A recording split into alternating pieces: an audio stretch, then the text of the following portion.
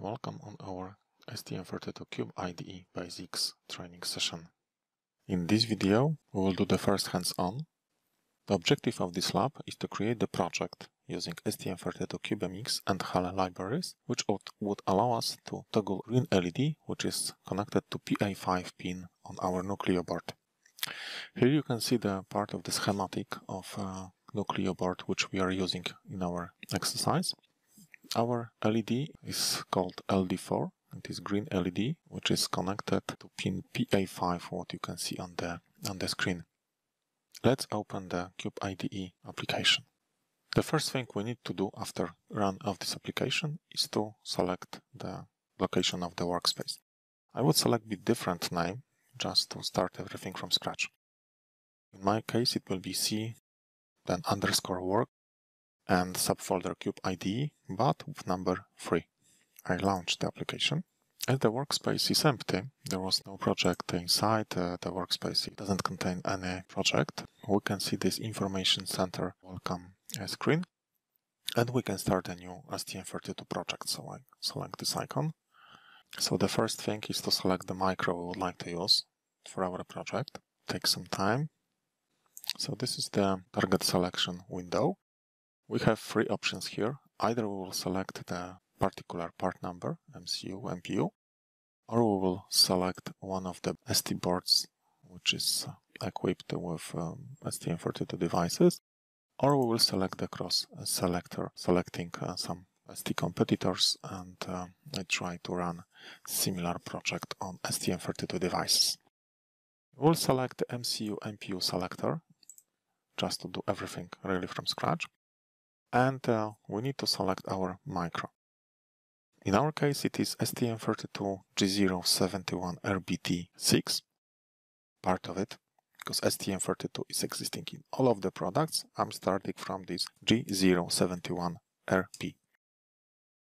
I can see one choice, RB. I'm selecting this, uh, this part number. So we see two of them. Uh, we are selecting LQFP64 uh, package because this one is located on our Nucleo board. Once I highlight this number, I click next on the bottom of the page and the next step is to specify the project name we would like to create. Uh, here you can see the default, lo default location of the workspace and within this workspace we will have as well the location of the projects. I would call my project as a G0 underscore LED and uh, I have some options to, to, be selected. By default it will be project C project, uh, the binary type it will, it will be executable and the project type it will be STM32Cube based. We can select as well C++, we can select the static library which can be reused in other projects and we can select as well the project type as empty but in this case uh, we will have just an empty skeleton of the application and uh, we need to define our set of the registers, register map by ourselves. In our next videos, you will see the project generation using this empty project type, so you can follow this part as well. Let's continue with the project setup using STM32Cube. Let's press next. On this window we can see the micro we just selected, the version of the library we will use, so in our case, it will be cube for G0 in version 1.2.0 and the location of this library. So in my case, it is C underscore work and subfolder underscore CubeMX. Below you, you see as well the uh, link uh, to the configuration window where you can configure the repository location for your libraries. In this window, you have an option to select the code generator options. So either you will copy all the necessary library files uh, to the location of your project, or you will use it as a reference to the original files. We will use the default settings. Copy only the necessary library files. Okay, let's press finish. Uh, as a result, we can see some information window about uh, the perspective change. Within uh, Eclipse environment, you can have a set of so-called perspectives. So this is the configuration of the Windows set, which is present on the screen. Within STM32Cube IDE, uh, we've got at least three main perspectives. The first one is so-called CC++, which is used to uh, edit the code, uh, perform the compilation uh, of the code. The second one is so-called STM32CubeMX or device configuration perspective. And the third one is a debug perspective, which is used to mm, uh, debug the application. So I would just click remember my decision and yes. So now it is starting device configuration part of Cube IDE software. In case you have not downloaded the STM32G0 Cube library, it will be done automatically as you can see on my screen. So the application will connect to the repository, the web page. The proper Cube library will be downloaded as a zip file and then unzipped uh, in the folder we just specified two steps before.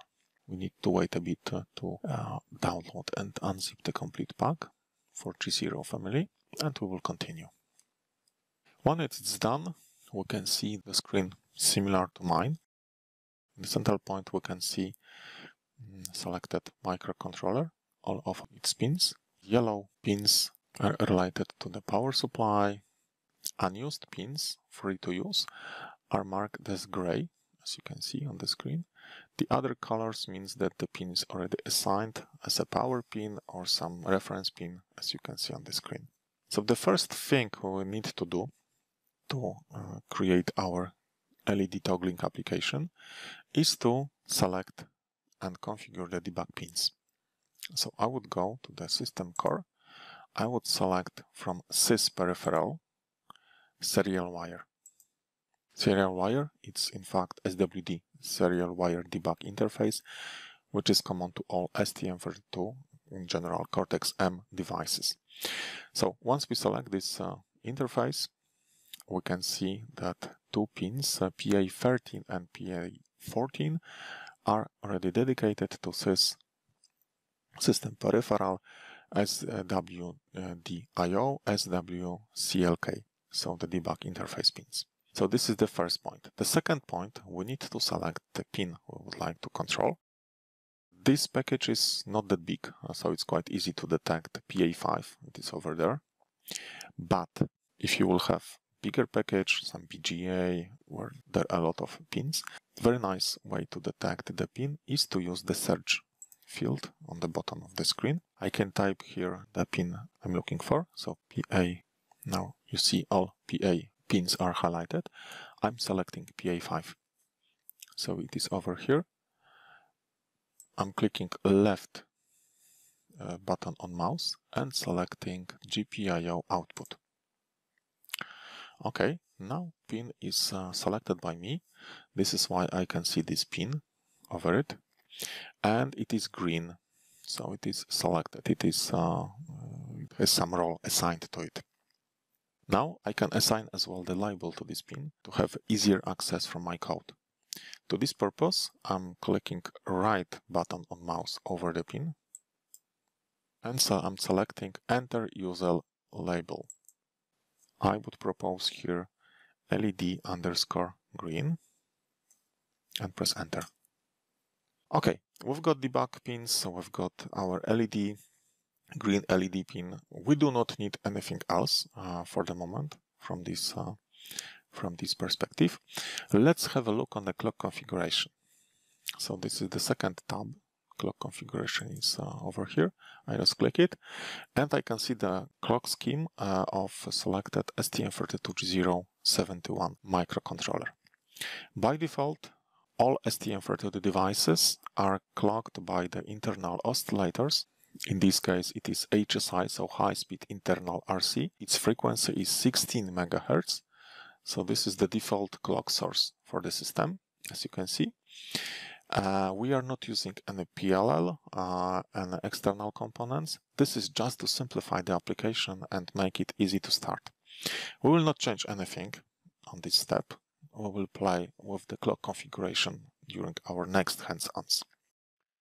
Okay, let's go to the project manager to generate the code.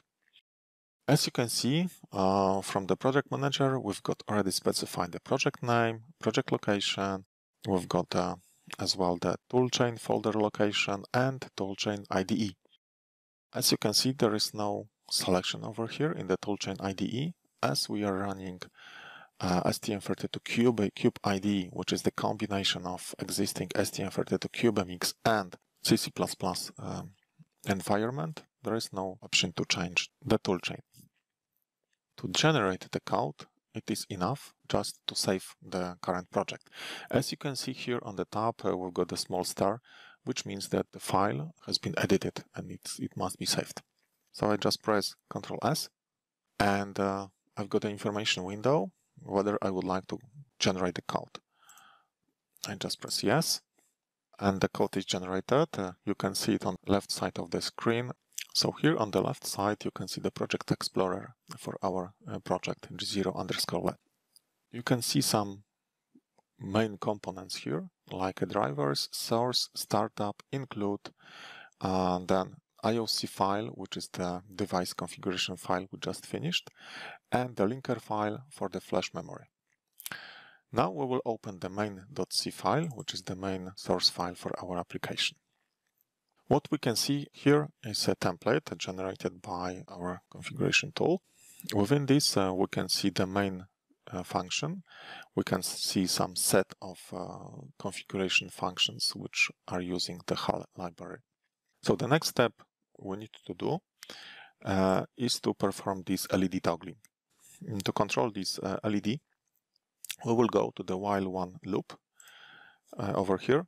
Please remember to uh, keep your code within this user code, uh, begin user code and uh, spaces. Otherwise, if you put it somewhere else, like in this line, which are just between those areas, your code would be erased during regeneration of the code or any modification done within the device configuration.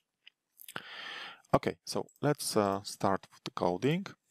So the first thing we need to do is uh, to find some function which would control our LED. As you remember, we are using the HAL libraries. HAL, let me remind you, it's hardware abstraction layer. And all of the functions which are within HAL libraries begin with the prefix HAL. So HAL underscore. Then, if you would like to control some peripheral, we need to, to put its name. To control LED, we need to control GPIO, where we've got the LED connected. So the next point would be GPIO underscore. And if we don't know which function could be used here, we can use control space.